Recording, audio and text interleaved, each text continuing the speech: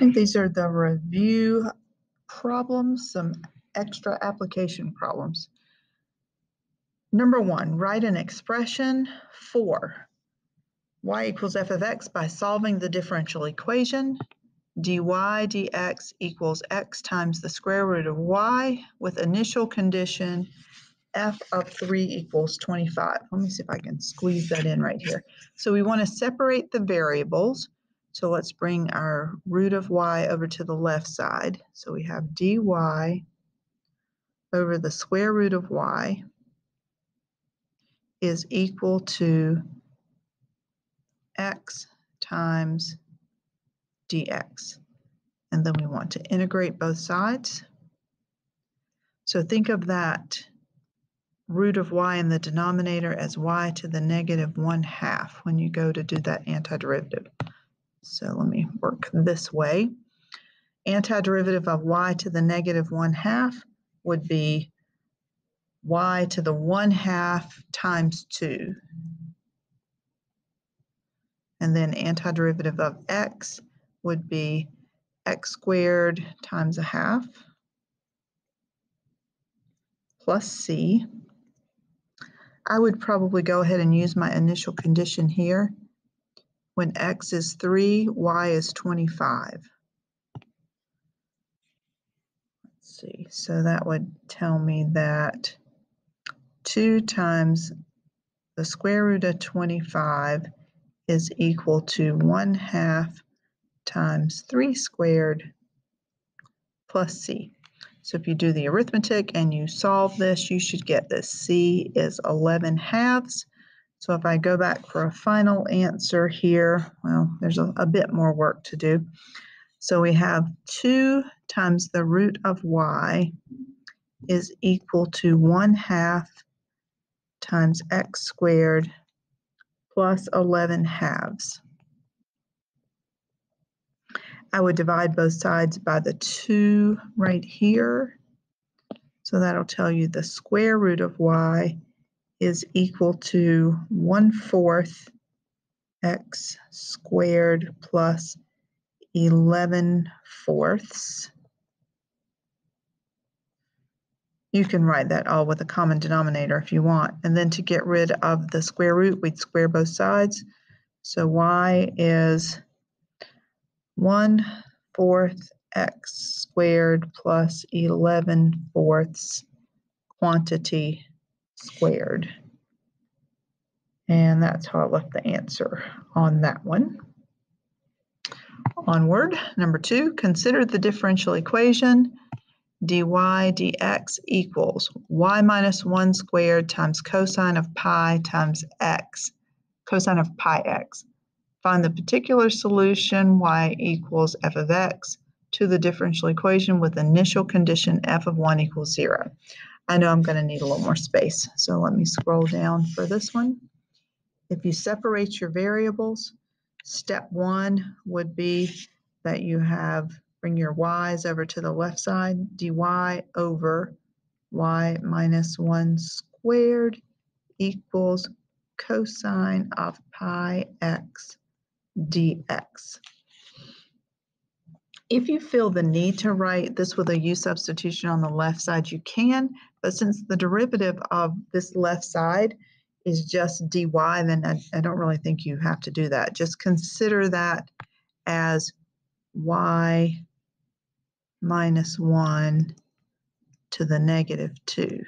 All right, so the antiderivative, add 1 and divide by that. So negative help if I put the integral symbol here. So then we get negative y minus 1 to the negative 1 equals antiderivative of cosine is sine. So we have sine of pi x, but pi, pi is just a number, okay? No different than having like a 3 there. If you were taking an antiderivative with a 3, you would divide by 3. So we need to divide by pi or write it as 1 over pi. Either way is fine. And then don't forget the plus c on the end. Let's go ahead and find our c. Initial condition was um, when x is 1, y is 0. So if I put a 0 in for the y, I get a negative, and then negative 1 to the negative 1. Okay, that looks kind of confusing. That's like having this guy is 1 over negative 1 over y minus 1 to the first. So this is negative 1 over negative 1. So the left side's going to be 1. And this is 1 over pi times the sine of, what was x? x was 1. So the sine of pi plus c. The sine of pi is 0, so the right side is just c. So it looks like c is 1. So negative 1 over y minus 1 equals 1 over pi times the sine of pi x plus 1. Then it's just a matter of maneuvering to try and match the answer that is given. How about we get rid of that negative? 1 over y minus 1 equals negative 1 over pi sine pi x minus 1, distributing the negative. Then if I just take a reciprocal here, I get y minus 1 equals, actually, you know what? It would probably be a good idea if I got a common denominator over here. How about we call that negative 1 just negative pi over pi so that this part's got a pi in the denominator and so does this. So that's negative sine pi x minus pi all over pi. Now when I take that reciprocal, it's a little bit better to deal with. I get pi over negative sine pi x minus pi. Last step, add this one. Y is equal to um, you can either leave it like this, pi over negative sine pi x minus pi, and then plus 1, or when you see how it doesn't quite match exactly what I have over here. So if you want to change this up and just make, like multiply by a negative 1 top and bottom, it'll make this negative, this will be positive, this will be positive. So you can rewrite it as 1 um, minus pi over sine pi x plus pi. Not going to worry too much about the final form. Number three, let P of t be an increasing function that models the number of mice in a laboratory population at time t, where t is greater than or equal to zero. It is estimated that P will satisfy the differential equation dP dt equals 30 times the root of P plus 40. Find the particular solution to the differential equation, same equation we had, with this initial condition. P of 0 is 104. Okay, this is number three. So if I separate my variables, I get dp over the square root of p plus 40 equals 30 dt. And we can integrate both sides. So on the left side, consider that p plus 40 to the negative 1 half. So the antiderivative would be p plus 40 to the positive 1 half. So that's just the square root of p plus 40 divided by a half, so times 2. And on the right side, derivative of 30 in terms of t is 30t plus c. Let's see about finding that c. p of 0 is 104. See how nicely that's going to work out?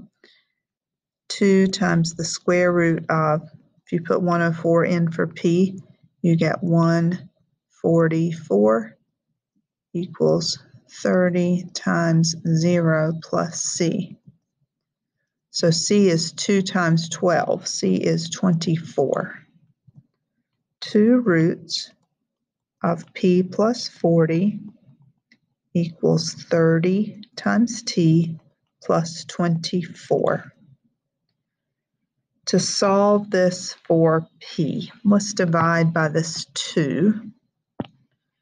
Root p plus 40 equals 15t plus 12. To get rid of the square root, we want to square both sides. So p plus 40 is the quantity 15t plus 12 with a square. And then finally, p is the quantity 15t plus 12 squared minus 40. So that's number three. And finally, number four. At the beginning of 2010, a landfill contained 1,400 tons of solid waste. The increasing function W models the total amount of solid waste stored at the landfill. Planners estimate the W will satisfy the differential equation dW dt is 1 25th times W minus 300 for the next 20 years. W is measured in tons, T is measured in years from the start of 2010. Find the particular solution W equals W of t to the differential equation that was given with initial condition W of 0 equals 1400.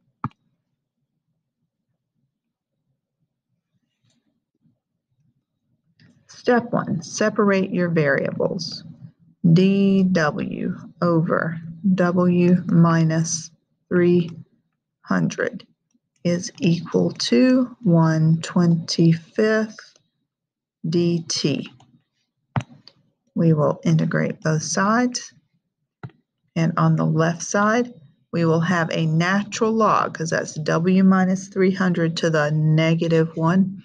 So that will be the natural log of the absolute value of w minus 300. Kind of nice that it's w minus 300, not 300 minus w those problems we've had before we had to take into account a negative one.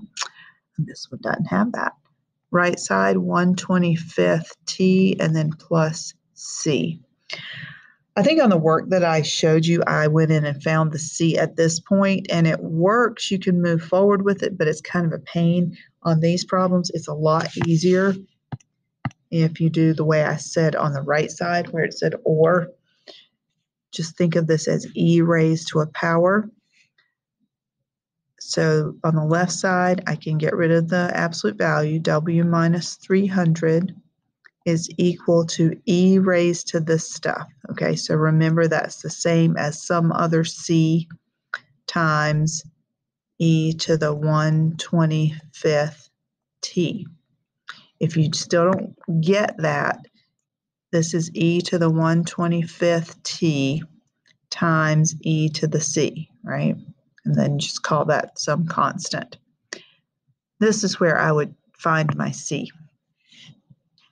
So we know w is 1400.